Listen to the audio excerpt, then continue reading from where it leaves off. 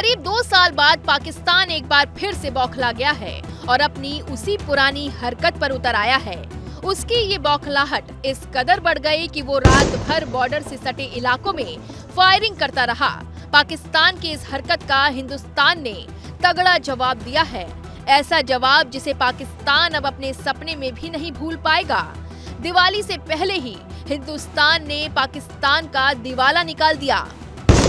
दरअसल 26 अक्टूबर को देर रात अचानक से पाकिस्तान की तरफ़ से जम्मू के अरनिया और सुचेतगढ़ सेक्टर में सीज फायर का उल्लंघन किया गया, जहाँ इंटरनेशनल बॉर्डर पर रात करीब 8 बजे पाकिस्तानी रेंजर्स ने अचानक गोलीबारी शुरू कर दी।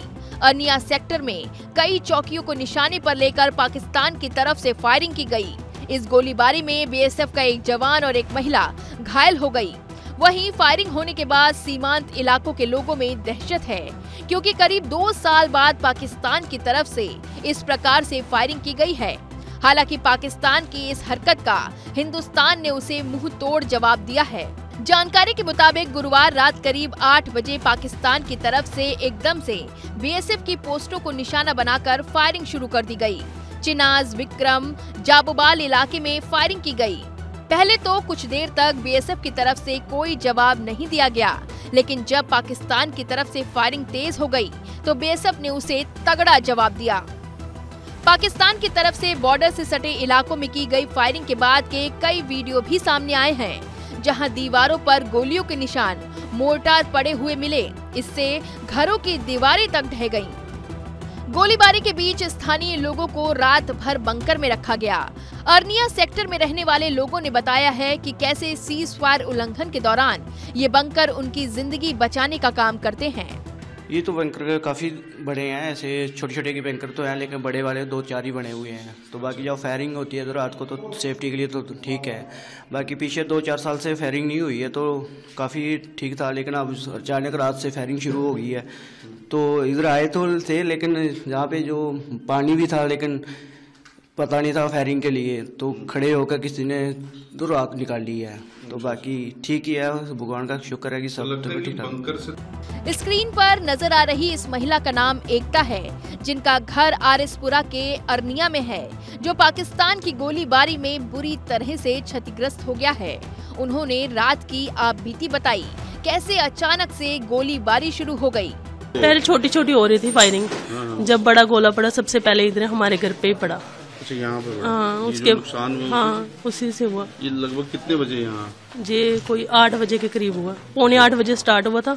आठ बजे के करीब पड़ा गोला।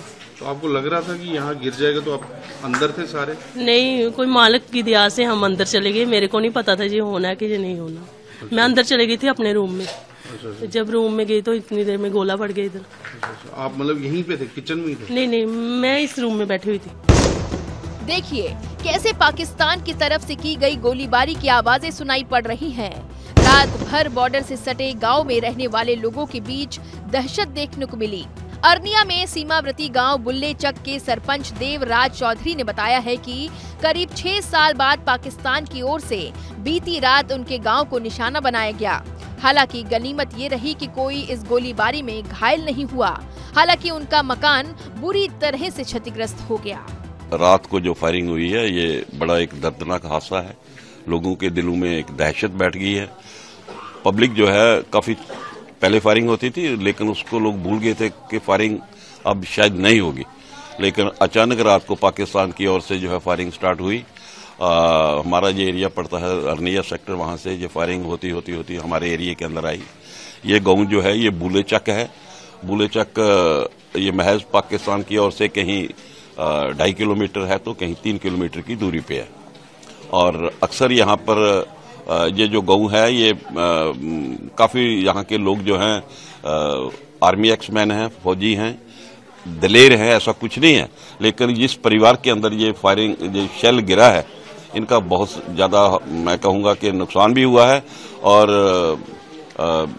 पूरा परिवार रात को उसी कमरे के साथ बैठा हुआ था, किचन के साथ लगा हुआ कमरा है जहाँ ये शेल गिरा है और काफ़ी नुकसान हुआ। वहीं जब सुबह हुई तो खेतों में पड़े कई सारे मोर्टार मिले, जो पाकिस्तान की नापाक हरकत के सबूत पेश कर रहे थे। भारी गोलीबारी के चलते बीएसएफ ने हाई अलर्ट जारी कर दिया है। पुलिस ने लोगों को घरों में रहने और बिजली बंद रखने को कहा है। वैसे करीब दो से तीन साल के बाद पाकिस्तान की तरफ़ से सीज फायर का उल्लंघन की कोई वारदात सामने आई है। लेकिन अब एक बार फिर पाकिस्तान अपनी उसी हरकत पर उतर आया है। कहा जा रहा है कि माहौल खराब करने के इरादे से पाकिस्तान की तरफ़ से ऐसी हरकत की जा रही है। लेकिन भारतीय जवान भी डटे हुए हैं और पाकिस्तान की हर हरकत पर उन्हें कभी न भूल पाने वाला जवाब दे रहे हैं।